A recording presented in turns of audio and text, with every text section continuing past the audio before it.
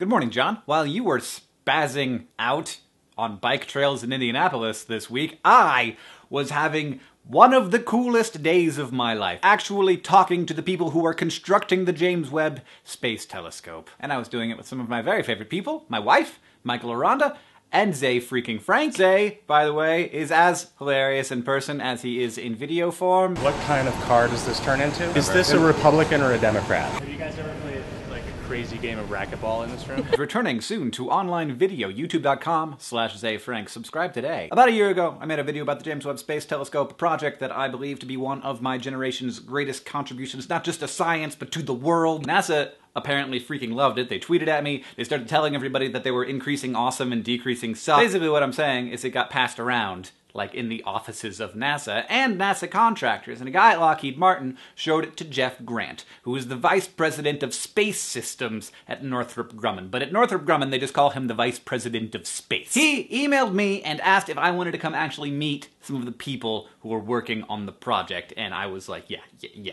yeah, yeah. Yeah, yeah, I would, yeah, yeah, yeah. On a related note, John, I would like to propose that my title at Vlog Brothers Enterprises be changed to Hank Green, President of Space, Nerdfighteria. With that, can I be President of Space? Hanging out at Northrop Grumman was crazy, because there are people following us everywhere. We were constantly monitored, meaning that I was entirely unable to hump anything, which is really disappointing, and I apologize. People followed us to the bathroom.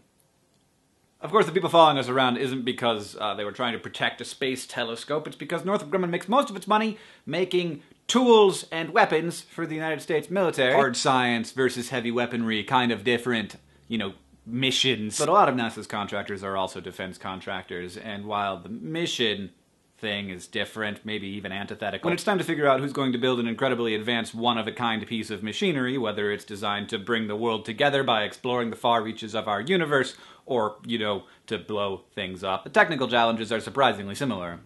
Weird. Which is why it's important to note that science and engineering and technology are neither good nor bad. It's just how we as a society decide to use them. But people, we we are both good and bad, and I can say having met the people at Northrop Grumman Space Sciences Division.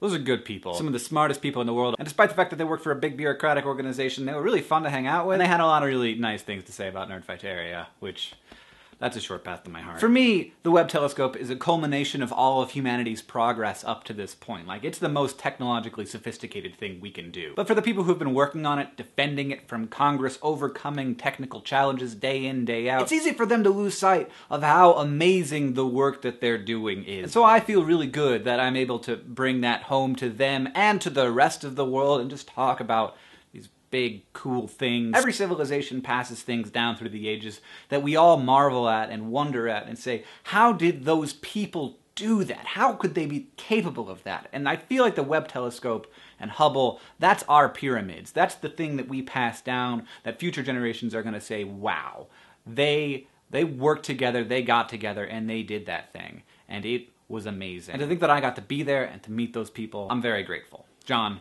I'll see you on Tuesday. And of course, the bigger reason why I was there was we were filming a bunch of content for SciShow, so you should go subscribe to SciShow if you want to see Hank Green and Ze Frank talk to Northrop Grumman scientists about the James Webb Space Telescope and other projects that they're working on at Northrop Grumman. Trust me, you will not regret it. DFTBA.